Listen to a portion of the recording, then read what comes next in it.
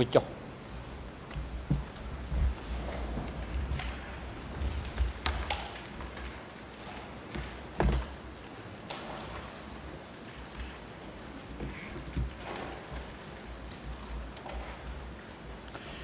អង្គជំរះប្រកាសបន្តកិច្ចដំណើរការនីតិវិធីសកម្មការសកម្មការនៅថ្ងៃនេះអង្គជំរះ កំណត់ធ្វើសកម្មការស្ដាប់សកម្មកម្មសាក់សីដែលមានជំនាញ PTCW 827ពាក់ព័ន្ធនឹងអង្គហេតុចោតប្រកាន់ការប្រព្រឹត្តលើក្រុមគោលដៅមនុស្សជាលក្ខចំពោះជនជាតិចាមកលាមជីសកម្មការលោកស្រីខ្សែកុលវិធីឡើងរាយការណ៍ពីស្ថានភាពវត្តមានអវត្តមានភាគីនិងបុគ្គលដែលអង្គជំរះកោះអញ្ជើញឲ្យចូលរួមនៅក្នុងកិច្ចដំណើរការសកម្មការថ្ងៃនេះសូមគោរពលោកប្រធានសម្រាប់សកម្មភាពនៅថ្ងៃនេះកលាមជីក៏សម្គាល់ឃើញថា គ្រប់ភាគីទាំងអស់នៃរឿងក្តីនេះមានវត្តមានលើកលែងតែលោកនួនជាអវត្តមានដោយមូលហេតុសុខភាពហើយសាកសីដែលត្រូវមកផ្ដល់សក្ខីកម្មនៅថ្ងៃនេះគឺសាកសីដែលមានរហស្សនាម 2TCW 827ប៉ុន្តែរហូតមកដល់ពេលនេះសាកសីរូបនេះមិនមានវត្តមាននៅក្នុងតុលាការនោះទេហើយនៅថ្ងៃនេះមិនមានសាកសីបំរុងនោះទេសូមអរគុណលោកប្រធាន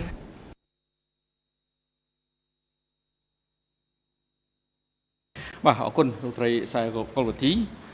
តាមរបាយការណ៍របស់វិជ្ជបណ្ឌិតប្រចាំការនៅអវតកដែលបានពិនិត្យសុខភាពរបស់លោកនុនជានៅថ្ងៃនេះបានបង្ហាញថាលោកនួនជាមានអាការៈវិលមុខខ្លាំងឈឺក្បាលធីងធូងឈឺចង្កេះដោយស្ថានភាពសុខភាពនៅថ្ងៃនេះមិនល្អទេដោយមានបញ្ហាសម្ពាធឈាមឡើងខ្ពស់ឈឺក្បាលនិងវិលមុខខ្លាំងនិងបានផ្ដល់អនុសាសន៍ថាគាត់ នួនជាមិនអាចចូលរួមនៅក្នុងសកម្មភាពនេះបានទេព្រោះគាត់មិនអាចផ្ចង់អារម្មណ៍បានហើយម្យ៉ាងទៀតគឺអង្គជំរះបានឃើញនៃការបង្គាប់ឲ្យនាំខ្លួនសាក់សី PTCW 827ដែលមានលេខឯកសារ E 202/208/2ចុះថ្ងៃទី4ខែមេសាឆ្នាំ2016ប៉ុន្តែរហូតដល់ពេលនេះសាក់សី PTCW 827មិនមិនមានវត្តមាននៅ អបតកទេហើយអង្គជំរះសង្ឃឹមថានឹងទទួលបាននៅរបាយការណ៍ពីមន្ត្រីនគរបាលយុតិធធដែល មានទួនាទីក្នុងការអនុវត្តដីកានេះឆាប់ឆាប់ចំពោះករណីនេះថ្ងៃហេតុដូច្នេះអង្គជំរះមិនអាចធ្វើសកម្មភាពនៅថ្ងៃនេះបានទីទោះជាយ៉ាងណាក៏ដោយអង្គជំរះ ស្នើសុំឲ្យភាគីតាមដាននៅសារអេឡិចត្រូនិករបស់ខ្លួនឲ្យបានជាប់ពាក់ព័ន្ធនឹងលទ្ធភាពនៃកិច្ចដំណើរការសកម្មភាពដែលអាចនឹងធ្វើនៅថ្ងៃស្អែកហើយដូច្នេះសកម្មភាពនៅថ្ងៃនេះអង្គជំរះ ប្រកាសផ្អាកសកម្មភាពថ្ងៃនេះត្រឹមនេះហើយសកម្មភាពលើកទៅបន្តធ្វើ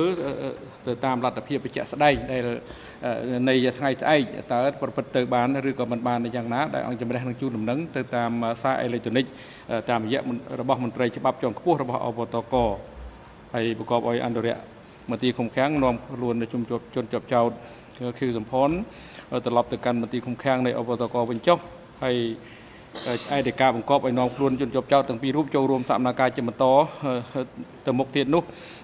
រងចាំដីកាបង្កប់ជាជាថ្មីពីអង្គជំរះសម្រាប់ចុះ